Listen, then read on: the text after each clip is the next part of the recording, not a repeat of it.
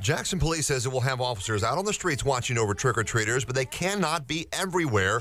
They need your help. We want the main focus to be safety. Um, so, some tips we want trick or treaters to know is make sure you trick or treat in an area that's familiar to you. Um, don't go to houses that's not well lit, and once you get there, don't go inside of a house. Also, make sure the kids have reflective tape on their costumes or goodie bags and flashlights. Law enforcement agencies around the area will have more officers out for Halloween, but here in Clinton, they're actually launching a four person traffic unit on this very night.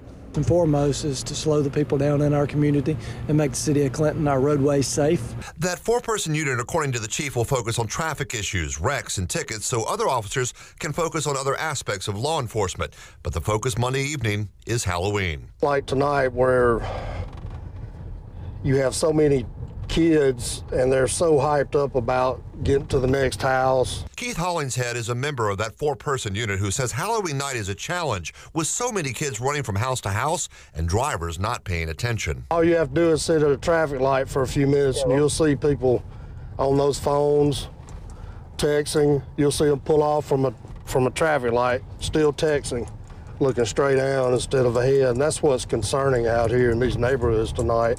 So keep an eye out. So it's a memorable Halloween night for all the right reasons. In Clinton, Scott Simmons, 16 WAPT News.